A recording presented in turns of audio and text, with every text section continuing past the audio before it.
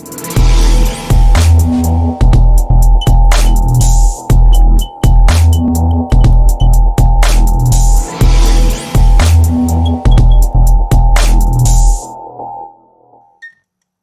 in this video we will learn about how to point MX records to RED server host while keeping GoDaddy name servers.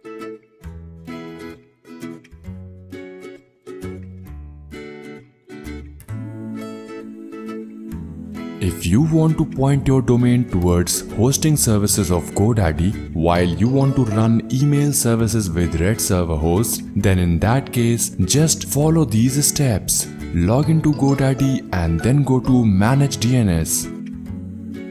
Now here we just need to change the name servers to default.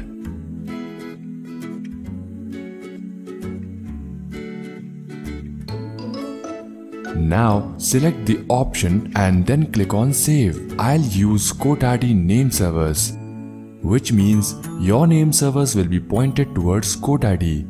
Now again go to manage DNS option.